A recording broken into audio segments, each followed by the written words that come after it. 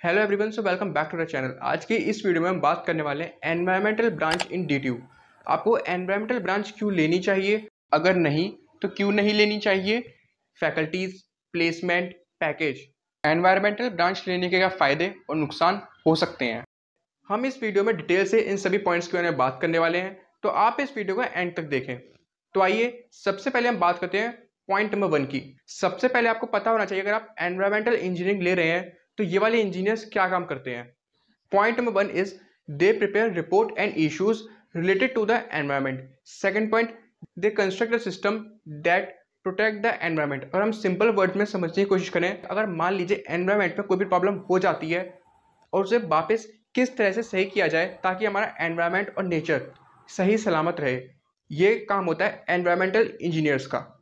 अगर आप डी में ई एन ई ब्रांच लेते हैं तो उसमें आपको सेवेंटी परसेंट एनवायरमेंटल पढ़ाई जाएगी एंड थर्टी परसेंट सिविल लेकिन जो मेजर पोर्शन होगा, वो एनवायरमेंटल इंजीनियरिंग का होगा, जैसे waste management and type of all the pollutions अब हम बात करने वाले हैं कि आपको ई एन ई यानी एनवायरमेंटल ब्रांच लेनी चाहिए या फिर नहीं लेनी चाहिए. अगर आपको ये ब्रांच किसी टायर वन कॉलेज में मिल रही है तो आप ले सकते हैं. अगर आपको ये ब्रांच किसी टायर टू या फिर टायर थ्री कॉलेज में मिल रही है तो आप इसे अवॉइड कीजिए, क्योंकि टायर टू और टायर थ्री कॉलेज में इसकी प्लेसमेंट बिल्कुल भी नहीं लगती है। और टाइवन कॉलेज में भी आपके पास स्पेसिफिक काफ़ी अच्छी डिग्रीज और स्किल होनी चाहिए ताकि आपकी प्लेसमेंट लग सके। टाइवन कॉलेज में आपके पास क्या अच्छी स्किल्स और क्या टैलेंट होना चाहिए ताकि आपको उसमें अच्छी प्लेसमेंट लग सके, इसके बारे में बात आगे वीडियो में करने वाले हैं। इस ब्रांच में कम प्लेसमेंट होने की वजह यह है कि कुछ ही आई में पढ़ाई जाती है, जैसे IIT Bombay I Dhanbad Jadavpur university DTU अगर हमें पता है कि इस ब्रांच में ज़्यादा अच्छी प्लेसमेंट्स नहीं लगती हैं फिर भी ऐसी क्या वजह हो सकती है कि हमें टाइवन कॉलेज में ये वाली ब्रांच लेनी पड़े? पॉइंट नंबर वन हो सकता है कि आपकी इतनी अच्छी रैंक ना आई हो कि आपको कोई और ब्रांच मिल सके या फिर आपके पास कोई ऑप्शन ही नहीं है इस ब्रांच के अलावा। पॉइंट नंबर टू अगर आपका interest research environmental fossil fuels इन सब में है और आप रिसर्च करना चाहते हैं तो आप ये वाली ब्रांच ले सकते हैं। देन पॉइंट नंबर थ्री अगर आप एनवायरमेंटल ब्रांच लेते हैं और उसके बाद फर्दर स्टडीज़ करते हैं, जैसे M B A from India and M S from abroad अगर आप इनमें से कोई डिग्री लेते हैं तो आपको एनवायरमेंटल में काफ़ी अच्छी प्लेसमेंट एक काफ़ी अच्छी डिसेंट पैकेज मिल सकता है।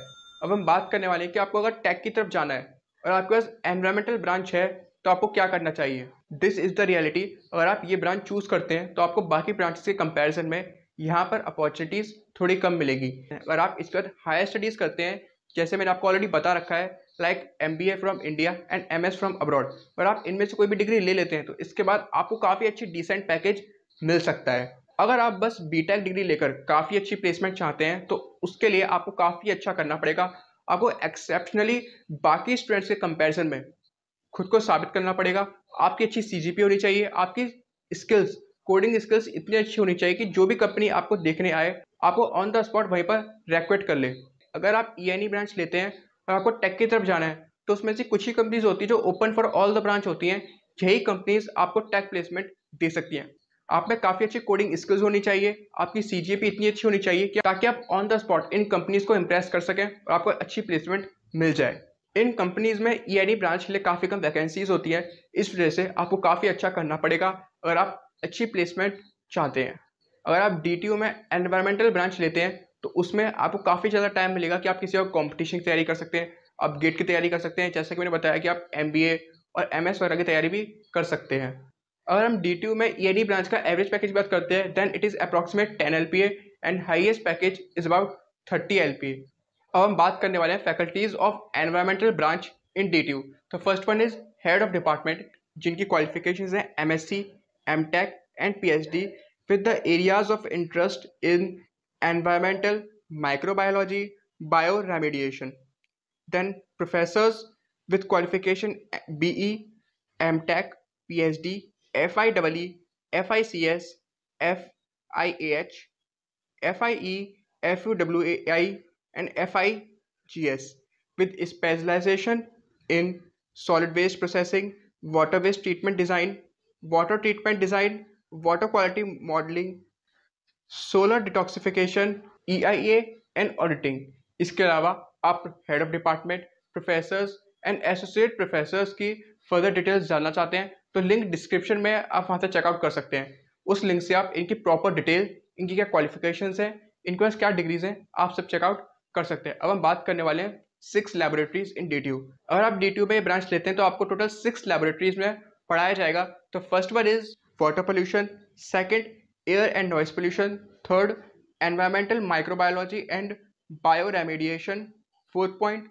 solid waste management fifth point G I S and remote sensing and six lab system simulation तो ये टोटल सिक्स लैब्स है जहाँ पर आपको एनवायरमेंटल और इनके प्रैक्टिकल्स कराए जाएँगे, जो आप स्क्रीन पर मशीन्स देख रहे हैं। ये सब वो मशीन्स हैं जो आपको लेबोरेटरी में जहाँ पर एक्सपेरिमेंट करने हैं।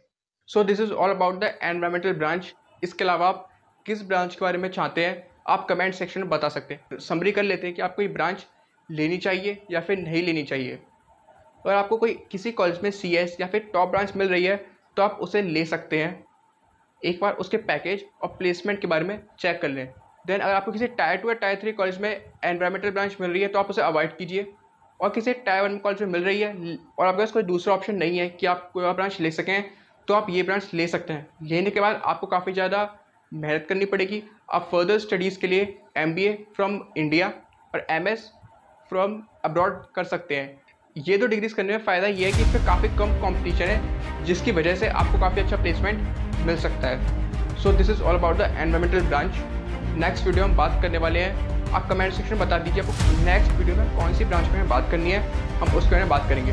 Thank you very much for watching till the end